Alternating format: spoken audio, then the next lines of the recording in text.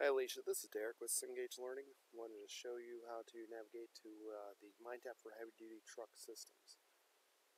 I'm in logged into your account here on Cengage.com. From here you'll see the title of the book. If you add any other titles it'll be in your drop down here.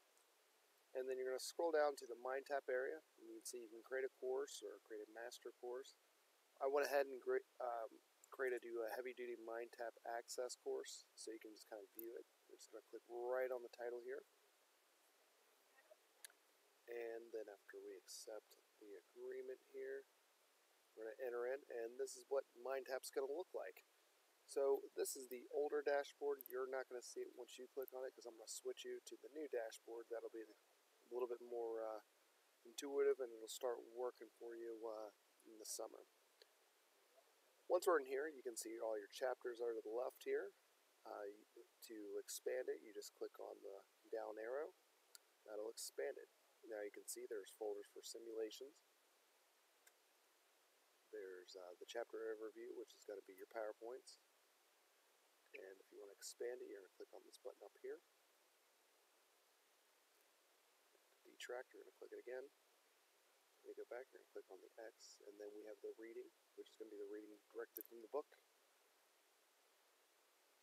You can click on click next or you can click on the subject we want to check out.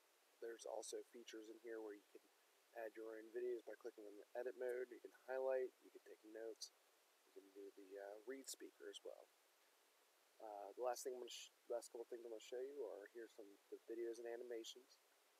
Pretty straightforward. You just click right onto it, and then you'll see here's the animations you can take a look at.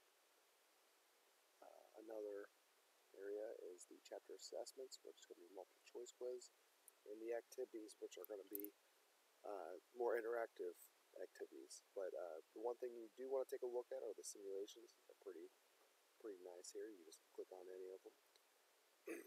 and then from here, you're going to click Start Assignment, and the assignment will load. It's kind of a bigger program, so give it a minute. But then from there, you can start working a little bit and take a look at uh, take a look at what you think If you have any questions or you want to take a look a bit further into it, my number is 859 657 4532. Thank you.